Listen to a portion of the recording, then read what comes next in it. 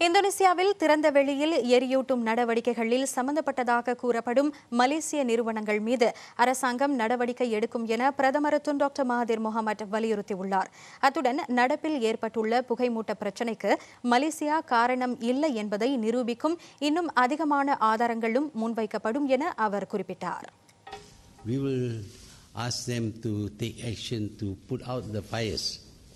But of course, uh, if uh, we find that they are unwilling to take action, we may have to pass a law which will make them responsible for fires in their property, even if it's outside Malaysia.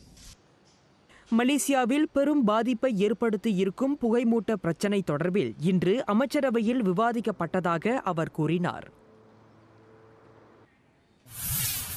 இதனிடையே காற்று தூய்மை கேட்டு பிரச்சினையினால் நாட்டில் உள்ள எல்லா பள்ளிகளையும் மூட வேண்டிய அவசியம் எழவில்லை என பிரதமர் துன் டாக்டர் மகாதீர் முகமது தெரிவித்துள்ளார். காற்றின் தரம் பாதிக்கப்பட்டுள்ள பகுதிகளில் உள்ள பள்ளிகளில் மட்டும் கற்றல் கற்பித்தல் நடவடிக்கைகளை தற்காலிகமாக நிறுத்தினால் போதுமானது என அவர் தெளிவுபடுத்தினார். நாடு முழுவதும் காற்றின் தரம் பாதிக்கப்படவில்லை என்பதையும் அவர் குறிப்பிட்டார்.